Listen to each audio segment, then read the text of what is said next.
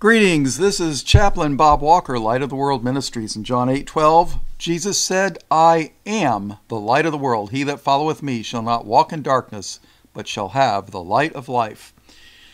Get your King James Bible and turn it up to the book of Ezekiel, chapter 31. We're going to read the entire chapter. This study is going to be basically it's kind of to question things rather than make you have a conclusion. But it's do were there other races or peoples who were contemporaries with Adam and Eve, or were they before Adam and Eve? Or were they, you know, well, contemporaries? There, in this book, Ezekiel, one of the most neglected books in the Bible, in my opinion. Ezekiel is probably the wildest book in the Bible, even surpassing that of Revelation, if you ask me. Somebody asked me to do a commentary on Ezekiel, and I just do not feel qualified. Honestly, I don't. It, it's just, it's out there. So, let's start. Ezekiel chapter 31, verse 1.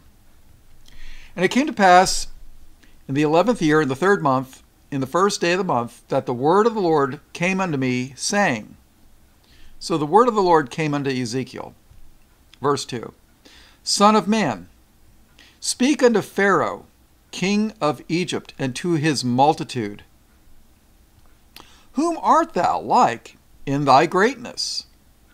Question. Verse 3. Listen carefully. Behold, the Assyrian was a cedar in Lebanon with fair branches. Did you catch that? Behold, the Assyrian was a cedar in Lebanon with fair branches. So here you got a figure of speech. It's comparing the Assyrian which was a group of people that lived in Assyria. I mean, you're talking about a group of people. And then it's using a figure of speech saying that they're a cedar in Lebanon. Okay? I mean, they were in that general area. But not only that, this is what they call parallelism. Because it's using one thing to parallel another. Behold, the Assyrian was was, not like, not similar to, behold, the, the Assyrian was a cedar in Lebanon with fair branches, and with a shadowing shroud, and of an high nature, and his top was among the thick boughs. Uh, a bough is just a clump of branches and leaves, right? Um, don't they sing at uh, December around December 25th? Deck the halls with boughs of holly. Fa la la la la la la. Yeah. Verse 4 The waters made him great. Now, in the book of Revelation, oh, I guess we better go there. Hold on. All right let's use the Bible to interpret the Bible. In Revelation chapter 17 and verse 15, which I'm getting ready to do a Bible study on this about the cup. Uh, let's see. Revelation 17 and verse 15.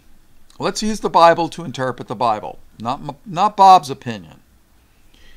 And he saith unto me, The waters, the waters which thou sawest, where the whore sitteth, are peoples and multitudes, multitudes and nations and tongues. The waters which thou sawest, where the whore sitteth, are peoples and multitudes and nations and tongues. Okay, back to Ezekiel 31, chap, uh, verse 4. The waters made him great. Who? The Assyrian. behold, the Assyrian was a, cedar in Lebanon. The waters made him great. The deep set him up on high with her rivers running round about his plants, and sent out her little rivers unto all the trees of the field.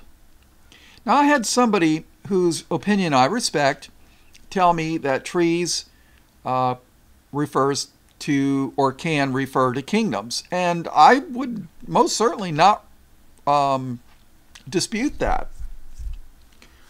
But of course, what are kingdoms made out of? Groups of people. Now, if you don't know who the Assyrians are, the Assyrians invaded and took northern Israel, whose capital was Samaria, captive. They killed a lot of them and took the rest captive. But you could also read, if you want to read about uh, Assyria, their capital was Nineveh. Perhaps you've read the book of Jonah, you know, the Jonah and the whale. He went to Nineveh and preached repentance to the capital city of Nineveh, which is the Assyrians. So, the waters made him great. The deep set him up on high, with her rivers running round about his plants, and sent out her little rivers unto all the trees of the field. So, if the sea Assyrian is a cedar, which is a tree, by the way, a cedar is a tree. We have cedars down here in Florida. Then what are these other trees of the field? Evidently, they're people and or kingdoms. Verse 5. So family trees, right? Verse 5 Therefore his height was exalted above all the trees of the field, and his boughs were multiplied, and his branches became long because of the multitude of waters when he shot forth. And for those of you that don't know it, the Assyrian Empire was a contemporary of the Babylonian Empire. They were the ones that took Judah captive. You can read about that in the book of Jeremiah, the Lamentations of Jeremiah. You can read about it in the book of Daniel. The Assyrian Empire rose up first, and then the Babylonian Empire conquered the Assyrians. And when the Israelites of northern Israel who were taken as slaves by the Assyrians. When the Assyrian Empire collapsed, um, Israel hightailed it out of the area. They left.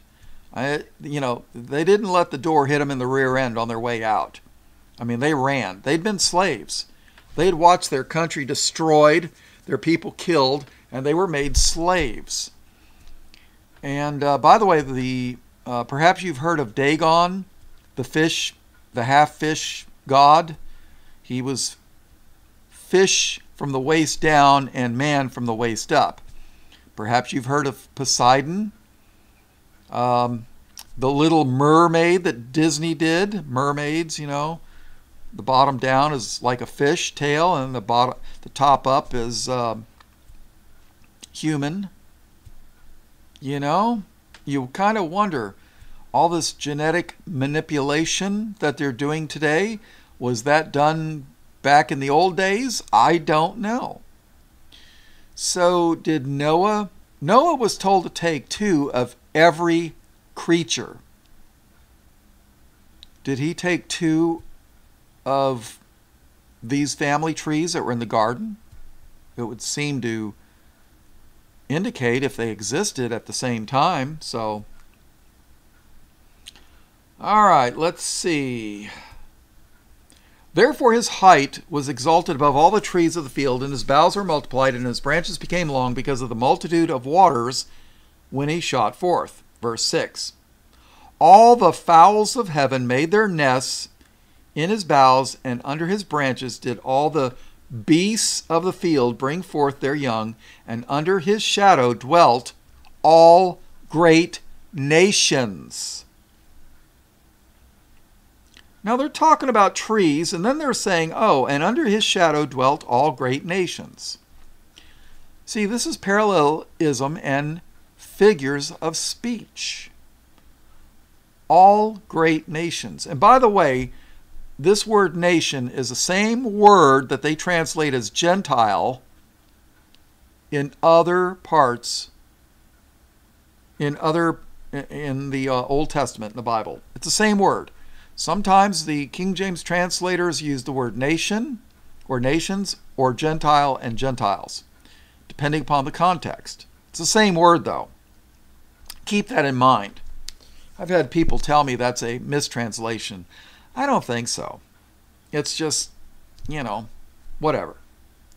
Verse 7. We're getting ready to go to the meat. Thus was he fair. We're talking about the Assyrian. Thus was he fair in his greatness, in the length of his branches, for his root was by great waters. Yeah, they were in the Middle East, which uh, basically that area connects the land from Africa, Asia Minor, and Europe. That is where the three the those continents all kind of meet. You know, and if you were doing trade and commerce with different parts, you know, from Africa to go to Asia or Africa to go to Europe or Europe to Asia or whatever, I mean, this is where it would always you would go through this area. I mean, it was a trade area. And I believe the Garden of Eden was in this area. But that's just my opinion. All right, so, and under his shadow dwelt all great nations. Verse 7 Thus was he fair in his greatness. When it says he was fair, does, does that mean he played poker without cheating? Or does that have reference to his countenance or his complexion? You know, what did the wicked witch or the evil witch or queen or whatever used to go to the magic mirror in Cinderella and go, or was it Cinderella? Or Snow White? I, I think it was Snow White. I, I don't know. I, I never really cared for Disney much. But she used to go to the magic mirror and go, Mirror, mirror on the wall, who's the fairest, fairest of them all? I think it was Snow White. White, snow, white. Isn't snow white? Thus was he fair in his greatness, in the length of his branches, for his root was by great waters. Listen carefully. Verse 8. The cedars in the garden of God could not hide him. The cedars, remember the Assyrian is was like a cedar was a cedar of Lebanon, right? The cedars, which is a tree, the cedars in the garden of God could not hide him. Evidently, this guy's tall. Probably could have played basketball, right? The fir trees were not like his boughs. Fir trees. So you got cedars, you got fir trees. The fir, the fir trees were not like his boughs, and the chestnut trees were not like his branches. Nor any tree in the garden of God was like unto him in his beauty. What was the garden of God? Isn't that Eden? Well, let's keep reading. Nor any tree, what tree? Family tree? Nor any tree in the garden of God was like unto him in his beauty. Isn't that why Satan fell? Because of his beauty? Oh, yeah. All right, let's take a look at Ezekiel 28. And then we're going to go back and read that again. Uh, let's skip down to verse 11. Ezekiel 28 and verse 11. We're going to take a look at beauty. Moreover, the word of the Lord came unto me, saying, Son of man, take up a lamentation upon the king of Tyrus. Now, people will say, oh, well, see, this is talking about a human king. Mm, I'm not going to argue and say that's wrong, but who's the power behind the power? Isn't Satan the prince of this world? Oh, yeah. Son of man, take up a lamentation upon the king of Tyrus, and say unto him, Thus saith the Lord God, Thou sealest up the sum full of wisdom and perfect in beauty.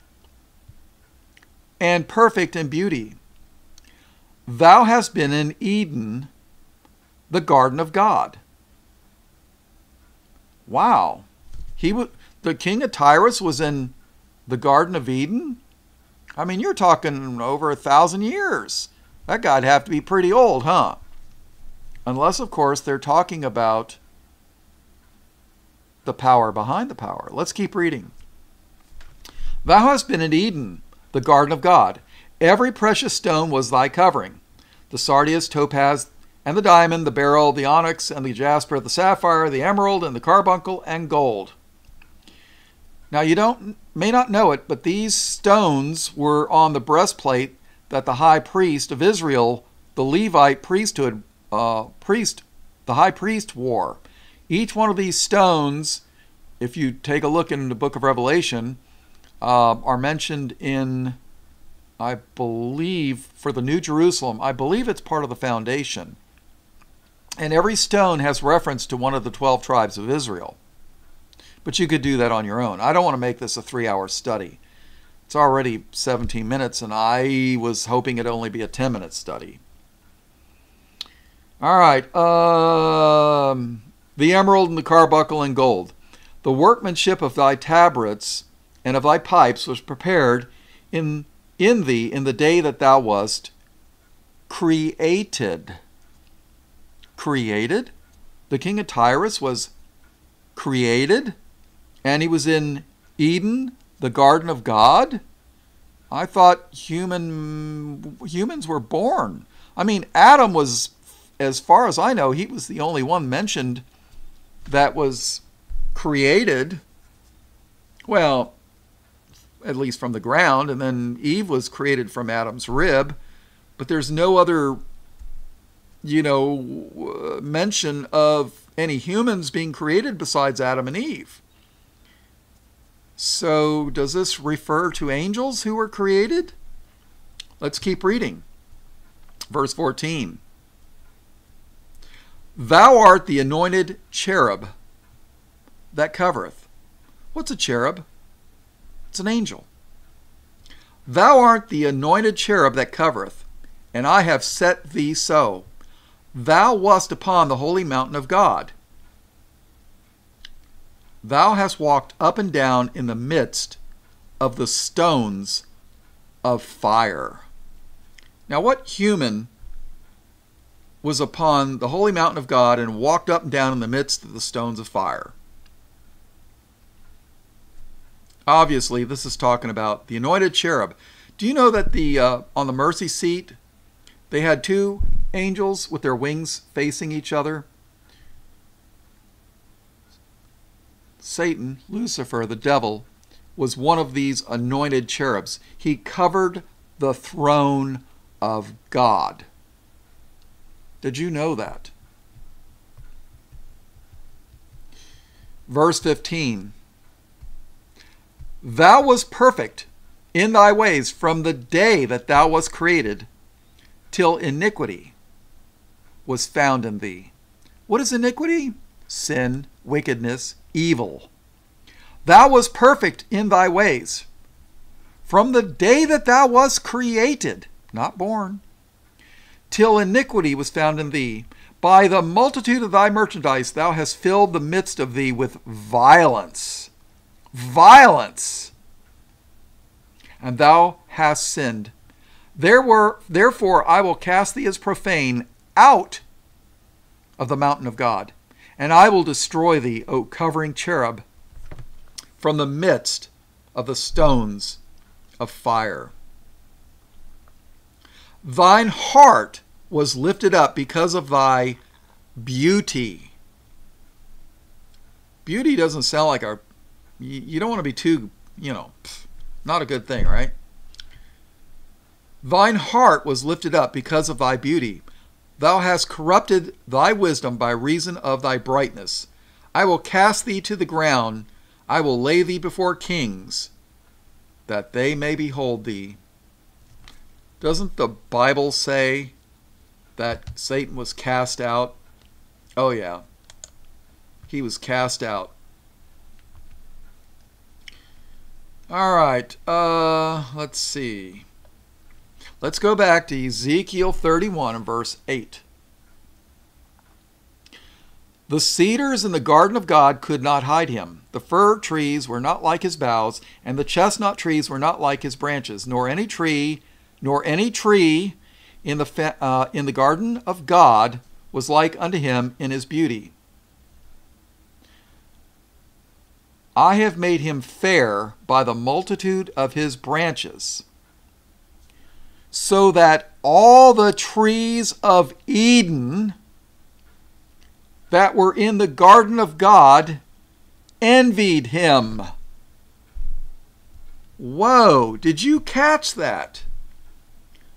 There were trees, family trees, that were in the garden of God, and they envied him. Let's read that again. I have made him, the Assyrians, I have made him fair by the multitude of his branches, so that all, all the trees of Eden that were in the garden of God envied him.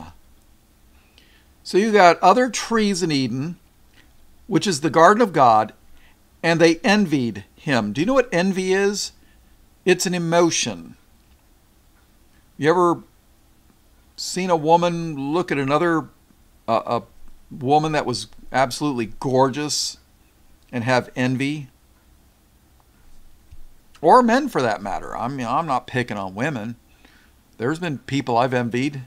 Um, some people envy other people for having money. I have made him fair by the multitude of his branches, so that all the trees of Eden that were in the garden envied him. All right, let's close this out real quick. I'm just going to kind of buzz through this. Uh, let's see. Verse 10 Therefore, thus saith the Lord God, because thou hast lifted up thyself in height, and hath shot up his top bough, his top among the thick boughs, and his heart is lifted up in his height. I have therefore delivered him into the hand of the mighty one of the heathen. Um, that's that was the Babylonians, right? He shall surely deal with him. I have driven him out for his wickedness. And strangers, the terrible of the nations, have cut him off and have left him upon the mountains and in all the valleys. His branches are fallen and his boughs are broken by all the rivers of the land and all the people of the earth are gone down from his shadow and have left him.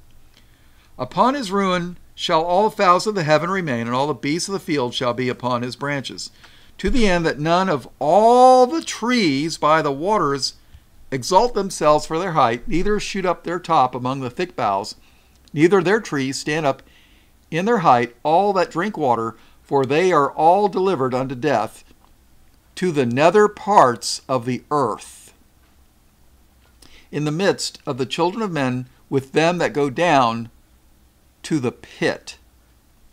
Thus saith the Lord God In the day when he went down to the grave, I caused a mourning, I covered the deep for him, and I restrained the floods thereof. And the great waters were strayed, stayed, and the great waters were stayed, and I caused Lebanon to mourn for him, and all the trees of the field fainted for him. How do trees faint? F A I N T. They don't. We're talking figures of speech here. I have made the nations to shake at the sound of his fall. When I cast him down to hell with them that descend into the pit, and all the trees of Eden the choice and best of Lebanon, all that drink water shall be comforted in the nether parts of the earth. They also went down into hell with him unto them that be slain by the sword, and they that were his arm that dwelt under his shadow in the midst of the heathen. To whom art thou thus like in glory and in greatness among the trees of Eden? Yet shalt thou be brought down with the trees of Eden unto the nether parts of the earth. Thou shalt lie in the midst of the uncircumcised, with them that be slain by the sword. This is Pharaoh and all his multitude, saith the Lord God. Now, the Egyptians and the um, were from Ham. Perhaps you've heard of the curse of Canaan. Canaan was the son of Ham. Uh, Ham also, his people populated Ethiopia. Keep that in mind. Now, people will say, oh, well, what you just said, Bob, is, is wrong. And they'll point to Genesis chapter 3, verse 20. And Adam called his wife's name Eve because she was the mother of all living. And they'll say, see, see, this is proof right here. No, she, she, Eve was the mother of all living. So she, there couldn't have been other people in the garden before or contemporaries with, unless she was the mother of all living. So she had to be the mother of the Assyrians and everybody else. Okay. Does all mean all? Was Eve the mother of the fish? All the fish? No. What about the birds? No. What about the lizards? No. She wasn't the mother of all living. Well, Bob, you're stretching it. That's you're talking about other animals. She was the mother of all living human beings. Okay, well, let's take a look at something. All right, let's go to the book of Romans, chapter 3, verse 23.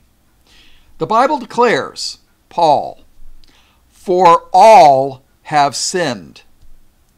For all have sinned and come short of the glory of God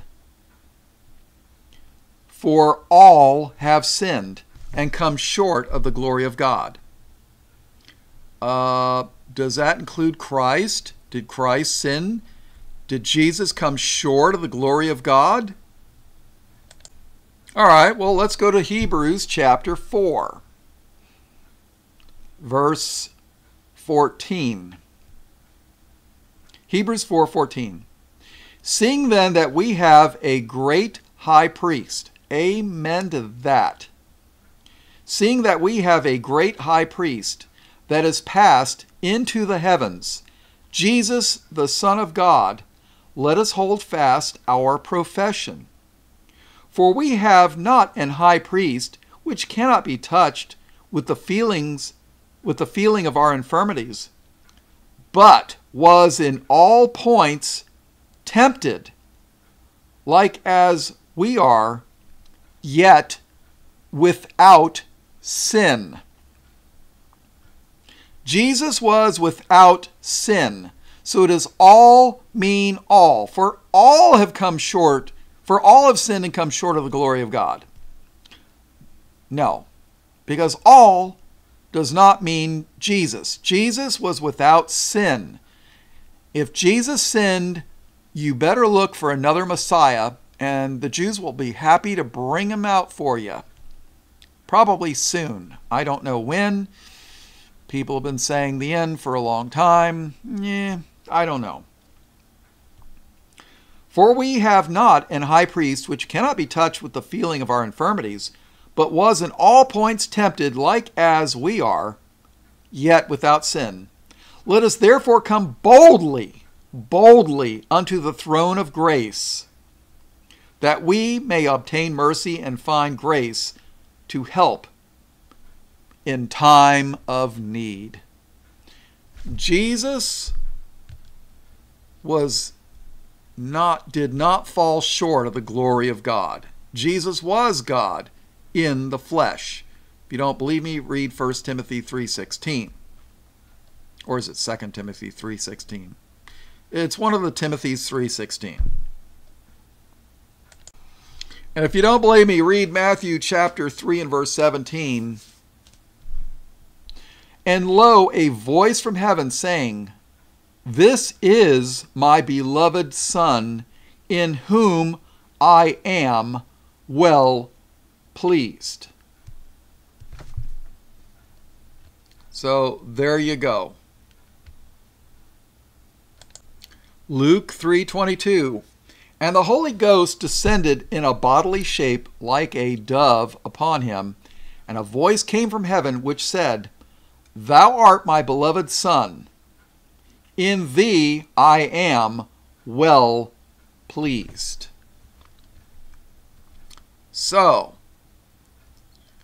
were there other people in the garden. I you make up your own mind. But I tell you what, there's a question for you. Let's go to Genesis chapter 4 and verse 17. And Cain knew his wife, and she conceived and bare Enoch, not the Enoch that God took up to heaven, different Enoch. And Cain knew his wife, and she conceived and bare Enoch, and he builded a city, and call the name of the city after the name of his son, Enoch. So, where did Cain get his wife? And why would two people, a husband and a wife and a kid, build a city? Think about it. So, you know, what can I tell you? Were there other people in the garden besides Adam and Eve? Actually, when you take a look at it, Adam is a racial description. And when it says that the uh, Assyrians were fair, think of Snow White, Mirror, mirror on the wall, who's the fairest of them all? Uh, if you want to see some people that are fair in complexion, go to Sweden. Well, yeah, look at the people that were born in Sweden 50 years ago. That's what I should say. Yeah, not not not the uh, so-called refugees that they're flooding it with I tell you what, you want to see people that are fair complected, go to Iceland. Those people are descended from Sweden and Denmark and Norway. Mostly Denmark, I believe. I'm not sure. Their official language is uh, Danish, but uh, half the people in Iceland speak English, approximately. Don't quote me on that, but you want to see some fair complected people blonde haired, possibly blue eyed, go to Iceland. There you go. Adam is a racial description. And after all, who printed the Bibles? Africa? Asia? No.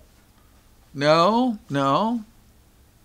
Who uh, built all the churches? Where are all the churches located? The majority of the churches built in the world for Jesus were built in the United States and in Europe. I mean, there are literally thousands of churches